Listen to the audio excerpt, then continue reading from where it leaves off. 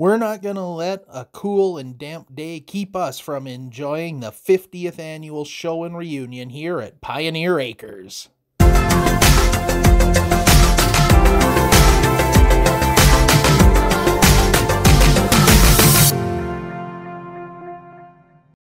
The museum is located on 50 acres of land and is about 45 minutes northeast of Calgary the theme of the 50th annual show is horses and horse drawn equipment. But we're going to start by checking out some of these antique cars that are on display.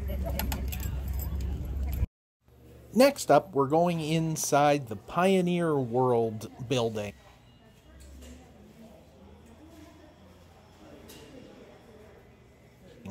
This is a more traditional museum in the sense of it has displays and artifacts laid out showing things from, you know, the early 1900s era. This poster is for the third annual show held back in 1972. Admission was only a dollar back then. Adjusted for inflation, that's only about $6 or half of what admission costs today. What is it about kids' toys from the early 20th century that make them look like they want to steal your soul? Back outside now. Since the theme of the show is horses and horse drawn equipment, it only seems appropriate we actually finally see some horses here.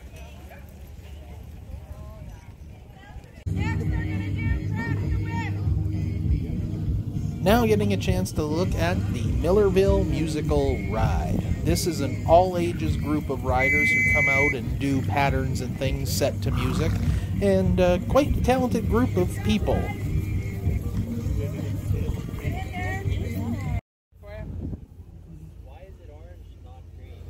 Pioneer Acres is also really well known for the collection of tractors here on the property all sorts of different makes, models, years, sizes. They have got a little bit of everything on site.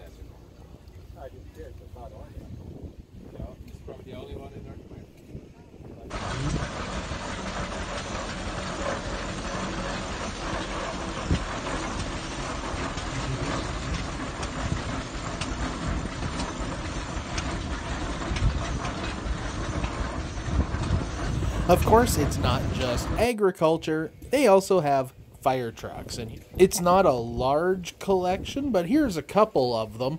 Uh, the one here on the right is a 74 Ford, and on the left we have a early to mid 60s Chev, which is one of my personal favorites. I'm just going to ignore those instructions. Hardly seems fair to all the people already inside the building. Pioneer Acres does not have a large collection of historic buildings, but we're going to go check one out here.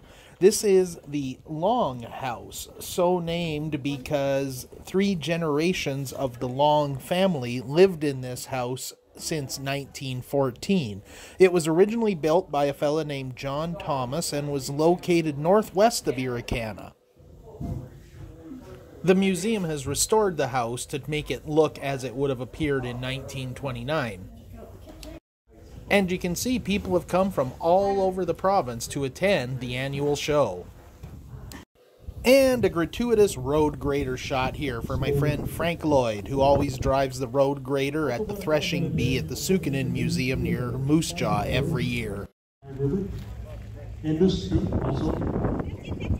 Horses of all sorts of different breeds and colors and sizes on display here. It's quite an impressive sight when they have a whole bunch of them lined up here along the track.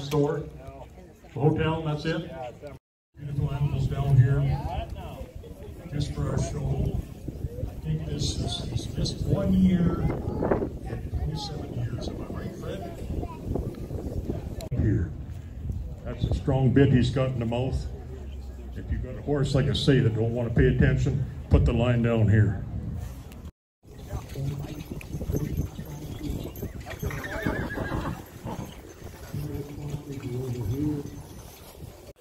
Checking out some of the truck displays, I really like this fire truck. The uh, light siren combination on the roof is really cool.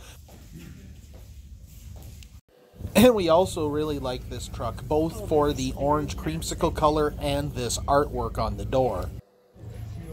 The interior of this truck is pretty much the epitome of what a big rig is supposed to look like.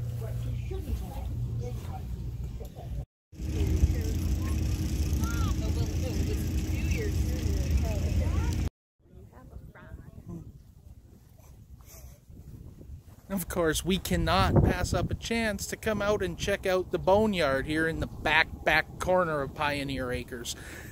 Long way away from where all the crowds are and all the displays are, but this is where some really interesting stuff hangs out.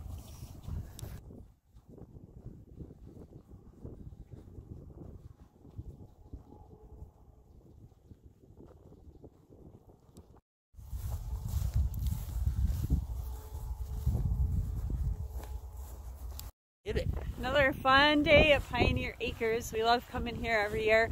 And this year was especially awesome for me being a horse person because the theme was horses and horse-drawn equipment. So lots of cool horses, especially draft horses to see. And of course, all the old tractors and cars and just a really fun day.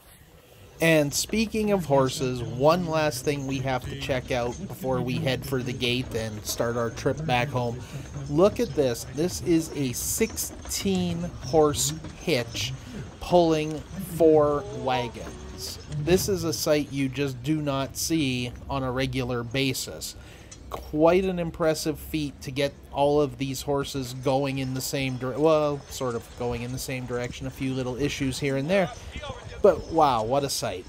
So thank you very much for watching, uh, coming along with us today to Pioneer Acres. It is a really great little place to visit. We've been out here multiple times. We were out here last year for the 49th annual show always a good time. We, we really love coming out here, seeing a lot of the same exhibits, but every time you see things, you get to see things a little bit different or focus on different areas. Certainly worth a return visit. Or if you haven't made the trip out here, you should uh, should do it. You owe it to yourself. Again, thanks for watching. Hope you liked the video. Hope you subscribe. Appreciate it. That's it for now.